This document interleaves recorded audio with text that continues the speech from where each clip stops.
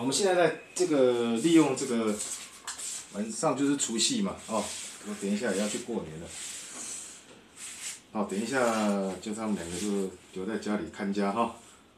当然我已经给他们运动完，运动完而且给给他吃饱哈，等一下还会再给他吃点东西。然后这个狗呢，主人说，哎，它戴嘴套。他会不爽啊，或生气啊，怎么样哈？那问题是说，他已经对我是完全的信任，而且这个他知道说，哎，只要他乖乖的话，他就可以得到奖赏。他理解到这一点。那我因为主人没有准备嘴套给我，啊，我就用一个类似的方式，看他会不会生气或不爽啊。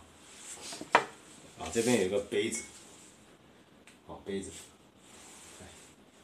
想要把它，你看连我的眼眼睛都把它套住哈。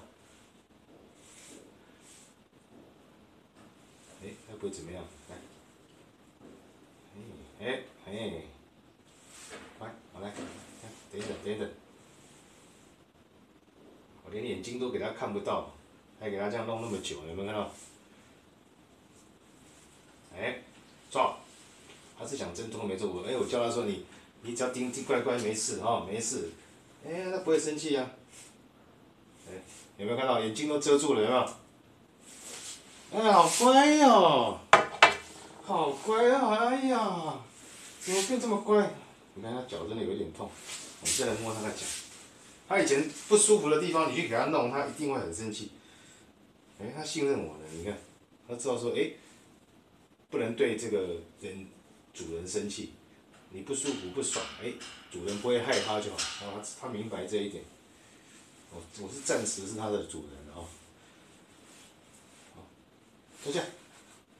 我们看他服从不错哦。不打，不打。哎，不打，不打，哎，不打。哎，好的。啊，以前他以前他这样趴着，他一一定大抓狂嘛。他现在变电到就是哎，哎干嘛干嘛很乖呀，哎在在玩哦，没有生气啊，他没有生气啊，他只是想玩哎，哎，好了，OK。